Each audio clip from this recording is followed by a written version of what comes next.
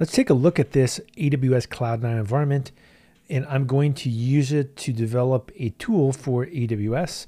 Now, I've already got this cooking in this NoahGift Rust MLOps template repo. I'm going to go ahead and clone it. If I go into Cloud9 here, uh, it'll be very straightforward to get this running. So first up, I check out the code. And now if I look inside of this repo and I go to Rust uh, MLOps template, I have a tool inside of this AWS directory right here. We can go ahead and navigate to it. And if we look at the source code here uh, and the cargo file, these are really the, the two main things that we care about. First, with cargo, let's go ahead and take a look at the dependencies. So I use AWS config, I use AWS SDK S3, I use Tokio, which is an async library, and I use Clap, which is a command line tool library, and then I use human size, which just formats uh, things in a way that makes it useful to print out. Now, if we go to the source code here, let's take a look at the library. Uh, first, I have a AWS client here. So what this pub does is it exposes it to my command line tool so I can use it in another module. And then I asynchronously uh, make a connection. And this uh, goes through and, and uh, establishes that client and returns that client as well. You can see this is the return here. Now, next here, I have a, a function that goes through and lists all of the AWS S3 buckets. And here we have, again, an async function using uh, Tokio. And we're able to list all of the buckets in my account. And again, it, it, it returns back a result, which is all of the bucket names.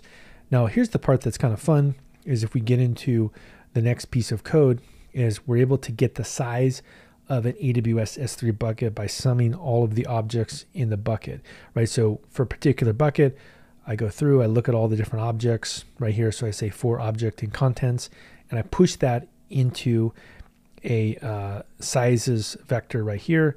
And then at the very end, uh, I just do a summarization and I return that uh, as the response for this function. And finally, to really pull it all together, uh, what we do is we say use list buckets to get a list of buckets, return a vector, and if there's an error, uh, go ahead and return that vector. So this goes through and it is able to really pull everything together. And uh, I also have a verbose method here that I've got set to default uh, automatically so that if there is an error, like for example, if a bucket's in a different region, I don't want to automatically print out that error. Uh, it's still there, but I just ignore it uh, from the start. And here, what I do is I actually go through here and I put all of the bucket sizes into a vector. And then uh, at the very end here, this allows me to then summarize it in my command line tool. So this is a nice clean bit of code here. You can see very tiny amount of code. Now, if we go to the main, this is where the command line tool comes into play. We have uh, clap, which is the parser. I have some information about you know the version, author, etc. And then here I create these subcommands. And this is the part that's kind of fun about using uh, the subcommands here is that all I need to do is uh, go ahead and create a subcommand called buckets uh, and another subcommand called account size. And I could put additional features. Like for example, if I want to turn off the error uh, debugging uh, inside of there. And then in this main right here, this does all the work. All I need to do is uh, go ahead and uh, run uh, each of these different commands. In this case, you can see it matches the buckets uh, right here, uh, which is that command right here. And then inside it runs the library code. And then I have another one, which is account size. And again, it just goes through and it runs that library code. And so you can see here that once I've got that sum here, uh, that is returned from that last function. It goes through and it gives us the formatting. So uh, very easy to run this uh, using cargo. How do we run this? I just type in cargo run uh, dash dash and then dash dash help. So the, the dash dash tells it, hey, go ahead and invoke that command line tool uh, so we can we can run it. Let's go ahead and run that. It's going to go through, it's going to pull down all of the crates and actually get everything running locally here. All right, there we go. We're able to invoke it. A couple of the things I'll point out here is that I, I like to do a make file inside of my Rust projects where I have the ability to format my code, lint my code, test my code, build a optimized uh, binary. uh, and then also just maybe do a run command here. So th- so if I wanted to lint it, for example, I could just go through here and do lint. You can see that the code is clean. I don't have to do anything. And if I wanted to format it, same thing. I would just go ahead and do a, a make format. So that's a, a really great part of making reliable systems is that I can format lint and, and, and especially if I get suggestions from, let's say, uh, AWS Code Whisperer or some other tool like that.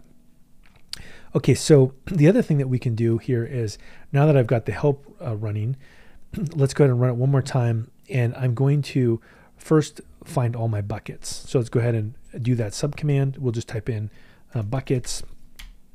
There we go. I've got all my buckets. So very, very fast uh, speed here. And then if I want to look at the ability to essentially summarize every single object in my S3 account, uh, it's also not bad. And all I need to do is go through here and run uh, account size. And this will go through here and totally summarize my entire uh, project. And if we if we do a timer here, you can see like this is lightning fast here. It only took it in, in terms of uh, real time here, uh, 1.6 seconds in terms of user time, uh, 0.4 seconds. So we're we're able to figure out that there's 114.2 uh, gigabytes of storage on my account. So you can see here Rust is a great tool for building reliable and extremely performant uh, tools for AWS, especially command line based tools.